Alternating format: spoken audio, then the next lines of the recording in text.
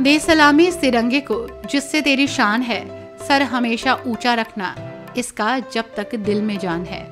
शुभम कुमार, ग्राम पंचायत अधिकारी, लखनपुर कमासिन बाना की ओर से, समस्त देशवासियों को जनपद वासियों को, स्वतंत्रता दिवस की ढेर सारी शुभकामनाएँ।